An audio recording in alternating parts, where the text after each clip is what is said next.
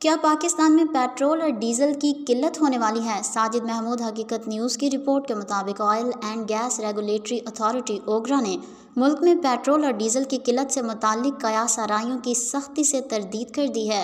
हालिया चंद हफ्तों में हुकूमत ने दरामदात में कमी के लिए मुतद इकदाम किए। इसके अलावा बैंकों की जानब से एल सीज़ खोलने का मामला भी शिदत इख्तियार कर गया। हकूमती इदारों और बैंकों की जानब से उठाए गए इकदाम पर ये अफवाहें फैल गईं कि मुल्क में पेट्रोल और डीज़ल की किल्लत होने वाली है। ओगरा ने मुल्क में पेट्रोल और डीज़ल की किल्लत से मुतल कयासराइयों की सख्ती से तरदीद कर दी है। इस हवाले से ओगरा तर्जुमान ने कहा कि मकामी रिफाइनरीज पेट्रोल और डीज़ल की तलब पूरा करने में भरपूर किरदार अदा कर रही है।